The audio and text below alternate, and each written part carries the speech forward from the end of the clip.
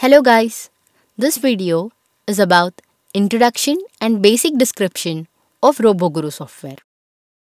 As we open the RoboGuru software, we can see this kind of view.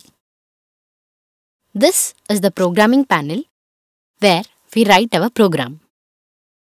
This is the main menu where we have lot of options from which we can add into this programming panel. This is the simulator panel where we can see the simulation happening.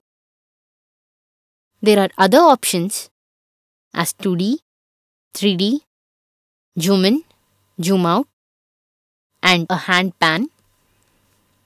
This is for running. This is for the speed. This is the different kinds of environments. And there are different levels. And this is to select the robot. Now, let us see what are all the functions and what are all present in the main menu.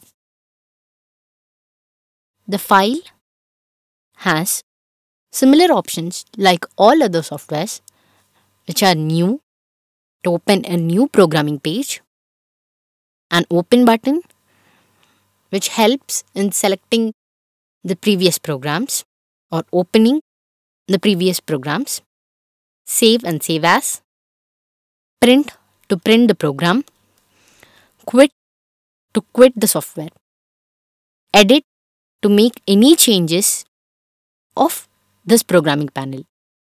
View has zoom in to zoom into the programming panel, zoom out and auto fit.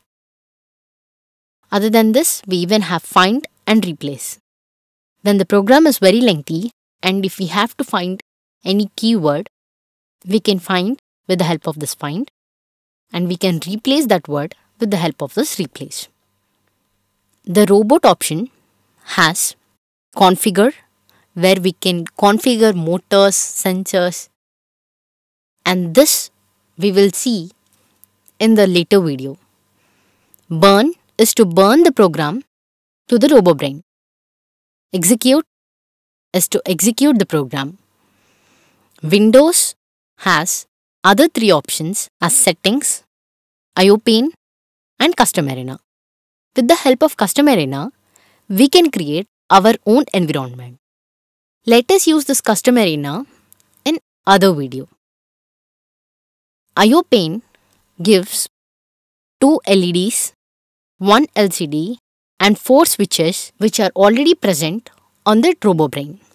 And settings is about the port ID and the baud rate. This port ID is about where to which port the robot is connected to the computer and baud rate is about the transfer of bits at which speed bits are transferred. Let us go into detail in other video. The program scripts is about to the destination folder where the program is saved. We can change this by opening.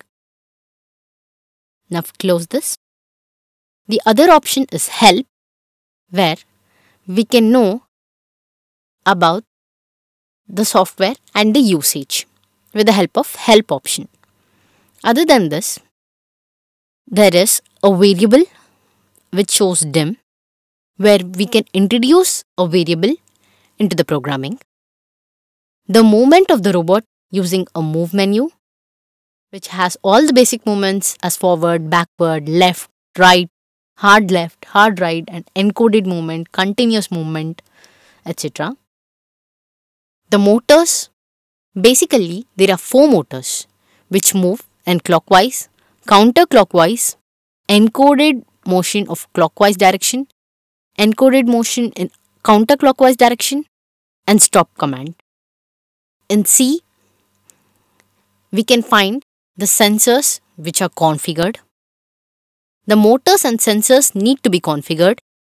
Let us see about their configuration and how to configure them in upcoming video.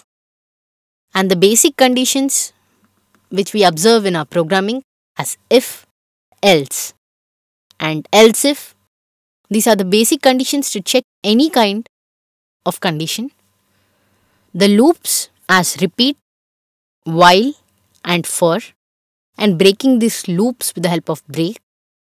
Let us see their usage in the upcoming video.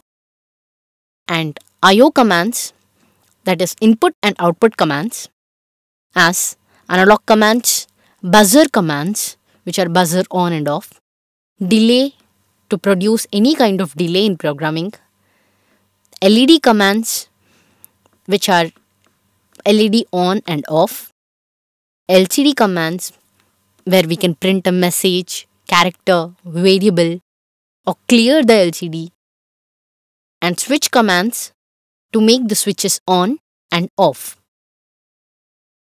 The procedures is about how to create a function and how to return and the operators which include and or and not.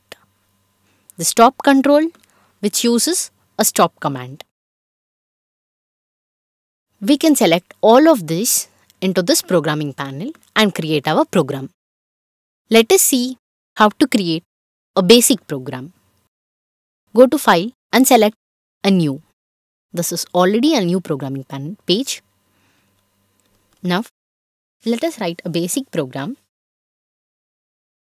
which is if a switch 1 turns on, then the LED 1 has to turn on and the LCD has to print high.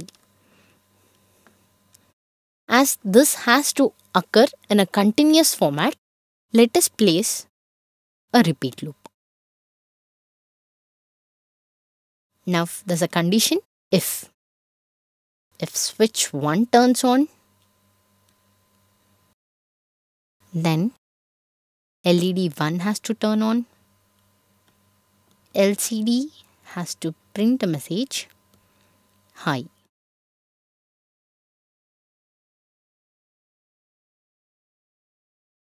Now save this.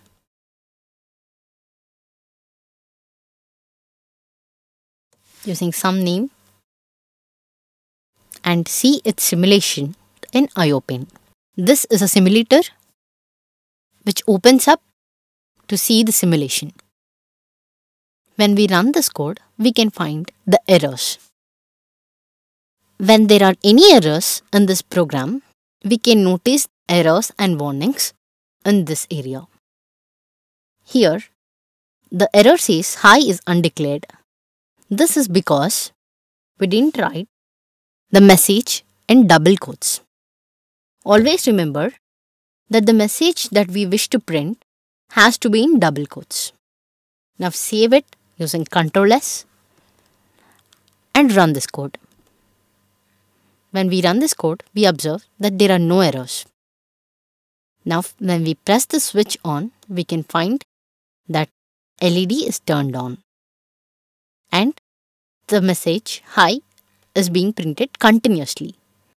Now close this program or stop this program using this. Now let us know about the other basic functionalities of RoboGuru programming in upcoming videos. Thank you for watching.